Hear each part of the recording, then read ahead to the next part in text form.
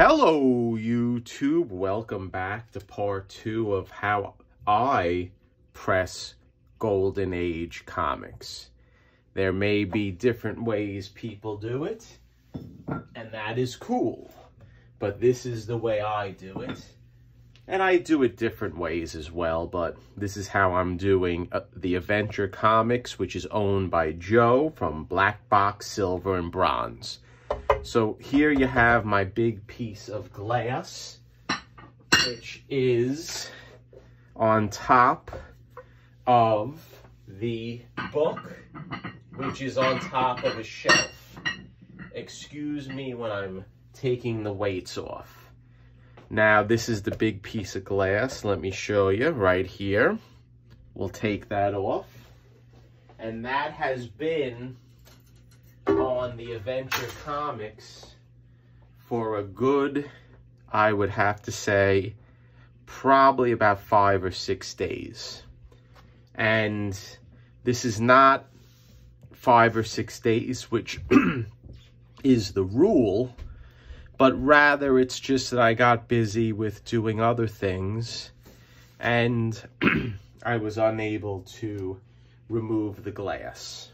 But the longer you let it press with weights on it, the better the job is, in my opinion. So this is all pre-pressing. That was illustrated on the past upload.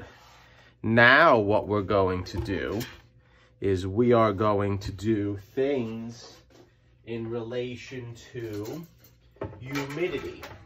So this is step two, because what I want to do is I want to introduce humidity to the book before I turn around and I press it in the screw press or the bookbinding press. So how are we going to do this? We're going to do this very simply. I'm going to take the book and look how flat the book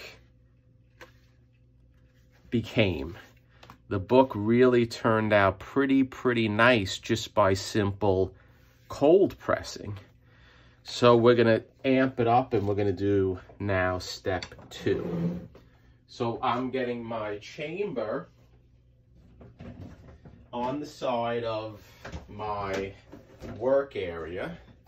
Let's get these little eraser pieces out of here before we continue.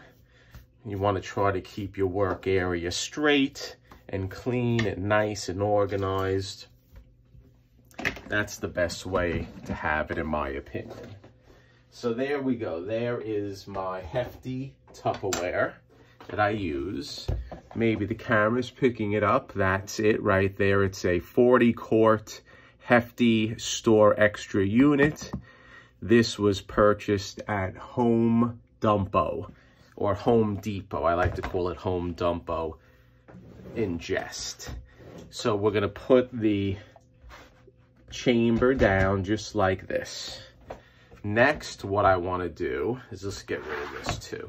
Next, what I want to do is I want to put a grate, okay? We're going to put a grate down because we're going to pour the water underneath the grate. And we'll use one bottle or 16.9 fluid ounces. See how scientific I'm becoming, giving ounces and giving the type of chamber I use because we're very scientific on this channel. We'll put the grate down. And in fact, I'm going to put a second grate down because I do not want to get it wet. And this second grate will prevent the water from touching the comic. Then what I want to do is I'm going to put a piece of right here, we'll put a piece of this is Hollytex because it's a lot smooth, smoother. The Reemay is thicker. Then what I'm to do is we're to take the Avengers comics and we're to put it nicely on the Hollytex, just like this. but we're gonna do something a little different. Here we go, I have plastic straws. And what I wanna do is I want the moisture really to penetrate the book. So I'm gonna open the book to the centerfold. Just like this, once we get to it. Nicely take our time getting to the centerfold. I think we have a few more. There we go. Here's the centerfold, just like that. And then I'm gonna put one straw, and then I'll put another straw just like this, and we'll close the book, just like that. Then what I'll do is I wanna open the cover as well, and I'm gonna put one straw just like this, and I'll put another straw just like that, and we'll just leave it. And by doing that, it will just give it some vents inside of the book. What does that mean, vents? Well, it's separating the cover from the first page. The centerfold is spread apart, and it's giving the book some air or humidity to go into there and really penetrate the interior of the book. So next step, what I'll do is I will take the top, we'll put the top on just like this, and I'll lock it up. So that's it. I will keep the book in here overnight. The exact time, it could be probably about 12 to 15 hours. And then what I'll do is I will press it.